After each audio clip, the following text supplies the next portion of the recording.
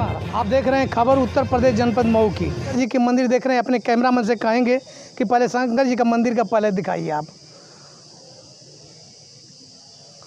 और उसी कड़ी में जो है यहाँ पे महावीर जी का मंदिर है और गणेश जी का मंदिर है उसको भी आप दिखाइए।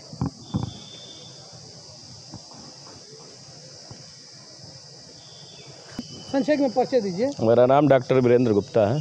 क्या मामला है? यहाँ पे राजा पिठौरागढ़ द्वारा निर्मित चौदह सौ बहत्तर ईस्वी में ये बहुत पुरानी मंदिर है, जो आज़ादी के पहले से है।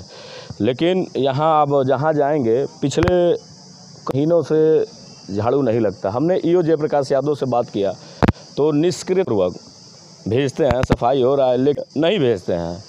ये कहीं ना कहीं मैं उन लोगों से पूछना चाहता हूँ कि लोग प्रभाव में अपने द्वार को दो से तीन बार झाड़ू झाड़ू लगवा दे रहे हैं। कहीं मस्जिदों में लग रहा है कहीं मदरसों में लग रहा है कहीं बाग, उनकी बाग जो है चार चार, पाँचवा आठ आठ सफ़ाई कर्मचारी लगे हुए हैं। लेकिन एक आस्था का प्रतीक, शिव मंदिर जो आप सामने देख रहे हैं, यहाँ दूर दूर से लोग आते हैं। शादी विवाह हो, चाहे मांगलिक कार्यक्रम हो, या हवन यज्ञ हो या अनेकों ऐसे कार्यक्रम हैं जो काफ़ी दूर से, सैकड़ों गाँव से कहिए कि पूरे ज़िले से लोग आते हैं। ये आस्था का प्रतीक है।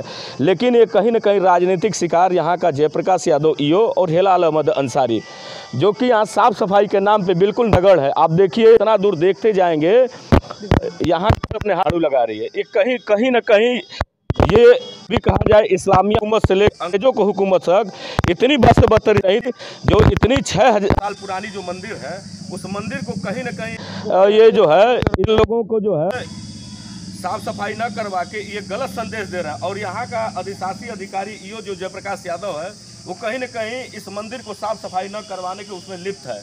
आप देखेंगे ग्यारह बजे के बाद जो है मंदिर से बाहर आप निकलिएगा तो औरतें जब और महिलाएँ जब और जो श्रद्धालु आते हैं बाज़ार से जब अपना वो करने के लिए पूजा पाठ करने के लिए तो 10 बजे के बाद ये नाली का पानी निकाल के रोड पर रख देते हैं।